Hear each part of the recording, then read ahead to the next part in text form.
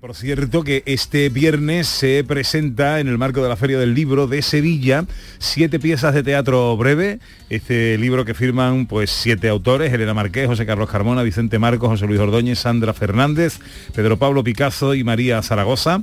Se va a presentar entre las 9 y las 10 de la noche con la presencia del propio José Carlos Carmona y Elena Marqués, dos de sus autores, curiosamente el, editor, ¿tú eres editor de esto, José Luis? Eso he tenido yo el placer de editarlo y prologarlo, y prologarlo también. Y entonces estaré firmando libros, por si alguien quiere pasarse a, que le firme será el viernes, ¿no? El viernes a las 9 de la noche. Bueno, recuerda, el viernes lo volvemos a recordar. y es una ¿eh? hora maravillosa porque con el calor que hace y se da una vuelta por la Feria del Libro de Sevilla a las 9 de la noche, creo que está muy bien. Pues hoy tenemos, arrancamos con una mujer, que ya era hora, ¿verdad? Eh, vamos a empezar la efeméride, por así decirlo, con una mujer que nacía tal día como hoy, un 23 de mayo, en Kentucky, y lleva por nombre Rosemary Clooney.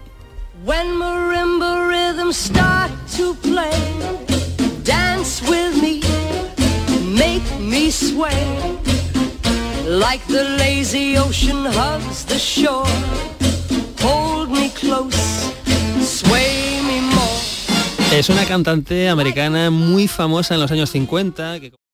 Bueno, pues hemos empezado con una eh, cantante eh, y actriz norteamericana, con la tía de George Clooney, ¿verdad? Que esto nos lleva ahí por Tarantino y por urgencias y tal. Y vamos a acabar eh, con una conexión hispana, ¿no? Y si la hacemos andaluza, pues casi, casi que mejor, ¿no? Porque ahora vamos a hablar de, de bueno, pues de una cantante y una actriz andaluza que nos cae mucho más cerca, que es Nerea Cordero, que es una, es una sevillana que lleva pues ya muchos años viviendo en Granada y que ahora tiene un nuevo proyecto que se llama Mi Alam y que el primer espectáculo que tienen es Reinvention Tour. Ha estado en esta primavera en el Teatro Alhambra, ahora van a, Madrid y creo que en julio regresan a Granada. ¿Pero qué hace esto? Porque yo os cuento aquí muchas cosas y, qué es lo que hace este espectáculo y qué hace Nerea Cordero.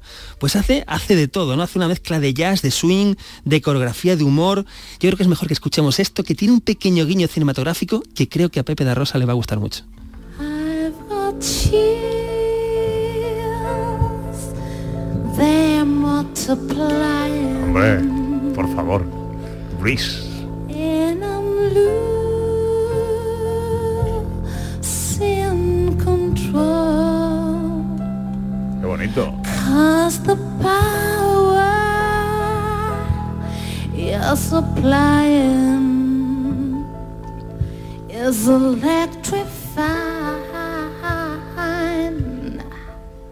Para mí Olivia Newton-John en Gris es un referente a seguir en la vida. Sandy es el símbolo transformador de la mujer del siglo XXI. Sandy es mi faro, Sandy es mi guía, Sandy lo consigue, Sandy cambia de piel. Claro que tener una amiga peluquera ayuda. pues bueno, el espectáculo que tiene es una maravilla de humor, de versiones americanas, de canciones. yo de, quiero verlo. De todo. Bueno, pues estuvo en el Teatro Alhambra llenándolo, ahora va a Madrid, pero creo que los que viven en Granada tendrán suerte porque en verano eh, creo que, que va a volver. Bueno, y hay que decir que yo creo que las grandes artistas como Nerea Cordero em, lo, bordan en los grandes eh, sitios, en los grandes teatros y tal, pero hace lo que hacen los grandes, que también cantan bien en un rincón de una calle, en un bar y hasta en una librería, ¿no? Como el pasado jueves en la librería, en una librería granadina eh, con nombre de pintor malagueño, donde se leyó, se hizo una lectura dramatizada de una obra de un escritor malagueño como José Carlos Carmona, de Pereza Eterna, que está incluida en siete piezas de teatro breve. Y cuando acabamos la presentación allí, pues con, con Jesús Lenz, por cierto, que estaba allí presentando todo el acto, Em, ella junto a, un actor que se llama Daniel Bengoechea, Llegamos al tramo, al tramo final de la obra de, de José Carlos Carmona, que como él bien sabe, hay una pequeña canción y el público que había, que había bastante público al final de la, de la librería Picasso, pues estamos allí todos atentos y de repente escuchamos esto. El que crea está muy solo y perdido también.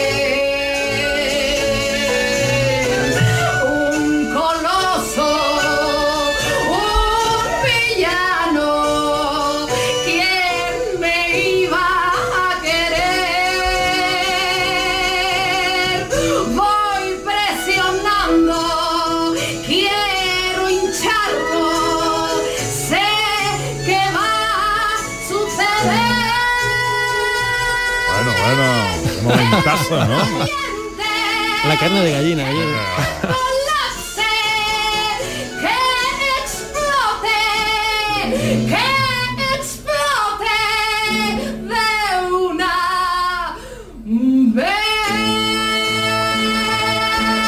Bueno, es que nos, nos, quedamos sin palabras allí, la verdad. Poderío, poderío. Nos quedamos, sí, sí, nos quedamos así diciendo, bueno, qué espectáculo. De hecho, nos quedamos, ¿sabes, ¿sabes cómo nos quedamos? Nos quedamos como si estuviéramos